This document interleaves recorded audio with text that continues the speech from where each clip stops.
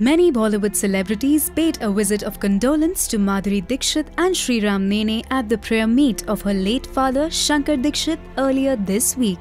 But what was shocking to see was that actress Aishwarya Rai Bachchan, who too arrived at the prayer meet, looked very happy and ecstatic to bump into old co-stars at the event. She was delighted to see old faces at Madhuri Dixit's father's Chautha.